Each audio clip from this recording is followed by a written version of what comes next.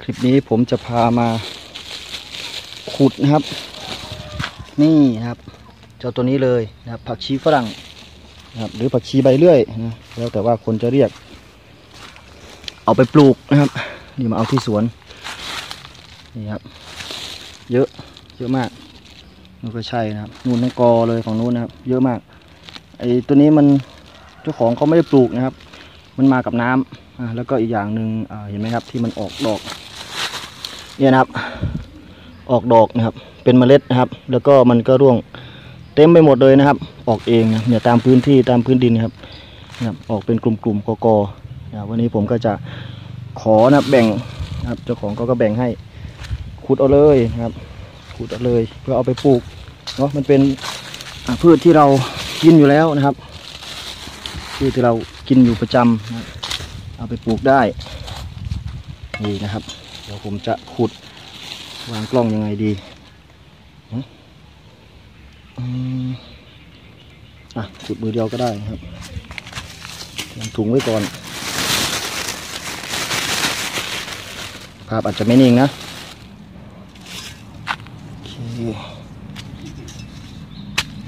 จริง ๆ ดึงเอาก็ได้นะครับนะครับนี่ครับ คือดึงเอาก็ได้นะ ไม่ได้ยากเย็นอะไร เพียงแต่ว่า ผมอยากจะให้เขาติดดินไปด้วยนะจะได้ไม่เหี่ยวเนาะ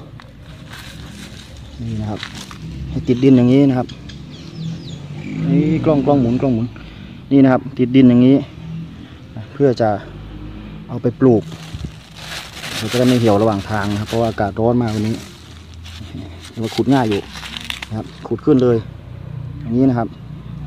เดี๋ยวกองไว้ก่อน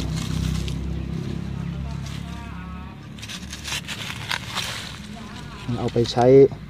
ปรุงต้มยำทำแกงก็ได้นะ จะชอบซื้อซื้อกินประจำเลยนะครับ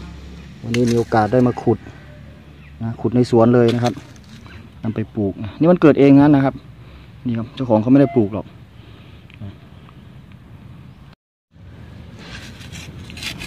ขุดขุดขุดครับไปเยอะได้เท่าไหร่ก็เอาไปแบ่งกันนะครับ ปลูกขึ้นมาก็จะเอาไปแบ่งพี่ๆเนาะพี่ๆน้องๆที่ ทำงานด้วยกันนะครับ อะไรที่แบ่งปันกันได้แล้วก็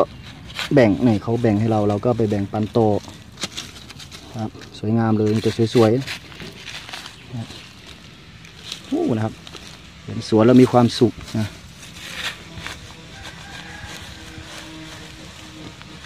เอ้าหล่นไปแล้วเป็นไรครับ เก็บ ก็เก็บ นี่นี่นะครับ ของดี ดี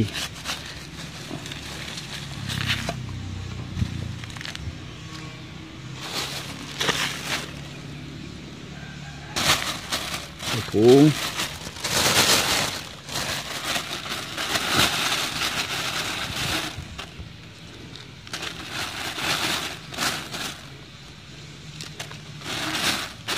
ปลูกง่ายนะครับตรงนี้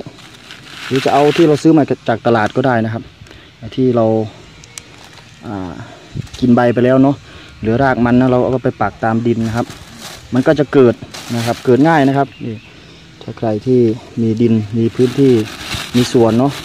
หรือว่าปลูกใส่กระถางก็ได้นะครับ เก็บไว้กิน ก็เด็ดเอาเขาก็จะแตกออกมานะครับ แตกออกมาเยอะๆแบบนี้เลย เพราะฉะนั้นอะไรที่เราปลูกได้กินได้ก็ปลูกไว้กินดีกว่านะเราไม่โชคดีนะครับ พี่เขาแบ่งให้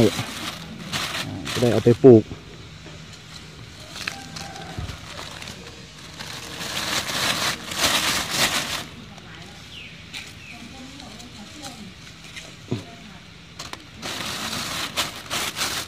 อีกสักนิดนึง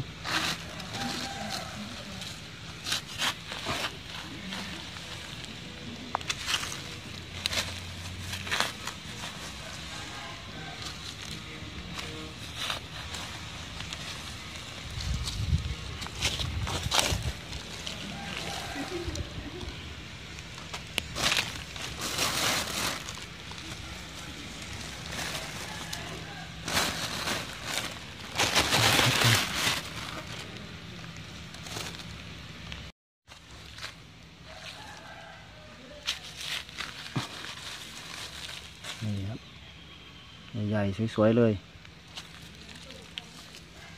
เราแบ่งไปกินด้วยเอาไปปลูกด้วยนะครับ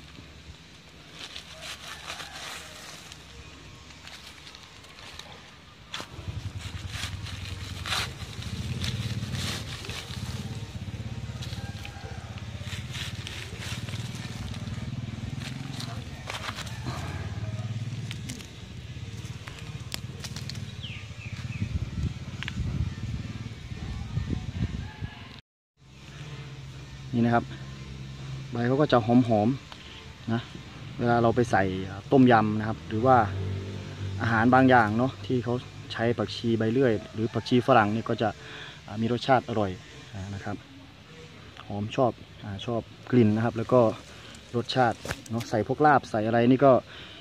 ดีเลยนะครับ คนอีสานก็จะชอบนะคนไทยก็ชอบนะใส่อาหารบางอย่างนะครับ ต้มยำบางคนก็ใส่บางคนไม่ใส่ไม่เป็นไรนะครับ แล้วแต่ความชอบ นะวันนี้ผมได้มาถุงหนึ่งเลยนะ ยังเหลืออีกเยอะนะในสวนนี่นะครับ เอาไปเอาไปกินด้วยนะก็เอาไปปลูกด้วยก็ตักลงดินอย่างนี้เลยนะข้างหลังนี่ผักชีฝรั่งทั้งนั้นเลยนี่นะครับก็มีมีทุเรียนด้วยนะครับเดี๋ยวผมให้ดูทุเรียน อ่านี่นะครับต้นข้างหน้ากลางจอนะคือทุเรียนนะครับนี่ทุเรียนนะก็ปลูกไว้ดูบรรยากาศในสวนรอบๆก็ได้ นี่เลยครับ มีทุกอย่างนะครับ มีทั้งกระท้อนมีฝรั่งนะครับมีมังคุดลำเอ่อขนุนนะครับขี้เหล็กนะครับมะพร้าวมะเขือพวงก็มีนี่นะครับ มีหลายต้นนะไม่ใช่มีต้นเดียวนะเป็นแต่ว่าปลูกกระจายกันเนาะมีอ้อย มีกล้วยนะครับ อู้นะทางนู้นก็จะมีขามีระกำนะครับ ที่ผมไปถ่ายให้ดูนะครับ นี่มีผักบุ้งมีตะไคร้นะครับขิงขาตะไคร้ใบมะกรูดนี่เบ็ดเสร็จครับอยู่นี่ มาเรียกว่าถ้าถูกกักตัวอยู่นี่นี่รอดครับ มีทั้งผลไม้มีทั้งอาหารการกินอุดมสมบูรณ์โอเคนะครับ ขอบคุณทุกท่านที่แวะเข้ามารับชมครับช่องเฉาก้วยนวนาทริปนะครับ วันนี้ได้เพิ่มอีกอย่างหนึ่งก็คือผักชีฝรั่งนะครับไปปลูกเนาะ ก็ขอบคุณเจ้าของสวนนะครับ มารอบนี้คุ้มเลยนะครับเหงื่อแตกเหงื่อท่วมเลยนะครับครับนี้ขอบคุณนะครับคนที่เข้ามารับชมนะครับ แล้วก็อย่าลืมกดสั่นกระดิ่งนะครับ กดติดตามเนาะให้กำลังใจเฉากล้วยนวราทิพย์นะครับตอนนี้ผมอยู่ใต้ต้นตะลิงปิงนะครับตะลิงปิงเกือบลืมอีกต้นหนึ่งโอเคนะครับ วันนี้ไปแล้วนะครับ ขอบคุณมากที่ติดตามนะครับ